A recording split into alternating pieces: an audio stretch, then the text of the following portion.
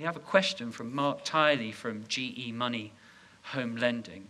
Uh, he asks, what methods resources do you use to create ideas and innovate, and how do you validate those ideas?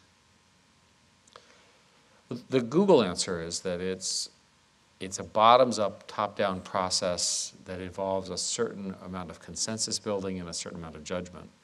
Um, in our case, we encourage engineers to spend 20% of their time working on whatever they want to. Can you imagine doing that in your companies? Well, you can. We do it at Google all the time. And these are engineers, right? They're not that exciting. I mean, their ideas are not off that far off the reservation. But it gives them some, some freedom to innovate, and we look for those ideas.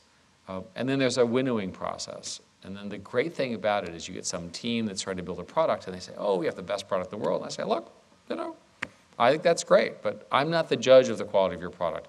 We measure everything, right? So if the product comes out and it goes up like this, we love it. If it goes up like this and it goes straight down, we cancel it. This is not that complicated. Um, and you know, you need to deal with the consequences of what you of the product that you build. But I think overall, you you have a culture which rewards innovation. You look for people who care about this. You look for high IQ creative people. You have a very tough hiring process looking for these sorts of people, and you learn from your mistakes.